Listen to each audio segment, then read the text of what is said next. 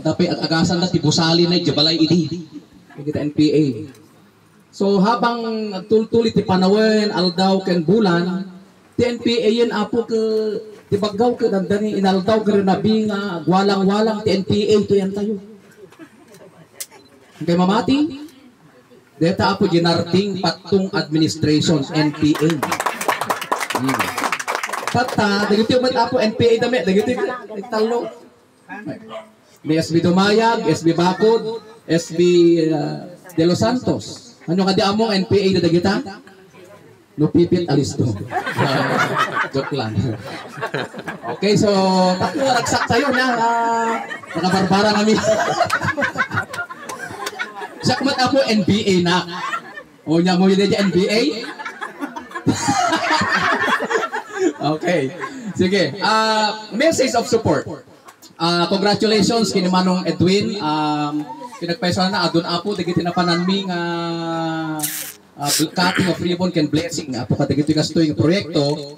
Pinagpeso na na madama tayo trata rin di annual budget di budget tayo ti munisipyo ti sumarunong katawin at damanin apo na ilata nga budget ijay para ti pabahay program ti LGU kadwa tayo apo ti Philippine National Police. At damanin 100,000 pesos apo ijay sino ti kayak na apo ti maikan ti balay Oh, dapat aki sumupo kay pala eh.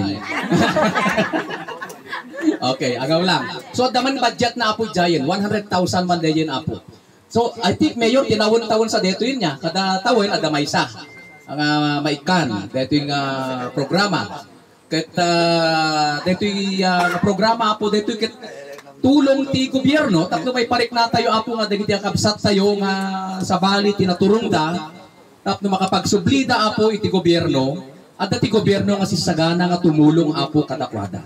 Kas na kumadag ito. Tama di kasta maipaayam tayo apo ti disente nga panagbiagda, disente nga pagbalayan da. Disente nga tapno na urnusen apo de jay uh, panagbiagda. Tahan daw mas asan apo jay unay. Okay? So nga dahito yung programa mga namnama kayo apo through the leadership of Mayor Nards Patong Kagiti SB members tayo apo nga dalawang dayton motive yan kaya tuloy-tuloy apo dito yung uh, programa kasuporta tayo. Kada giti kailyan tayo kakapsat nga kastoy. Okay? So, DJ lang nga po. Thank you so much sa yung pagnabigat tayo.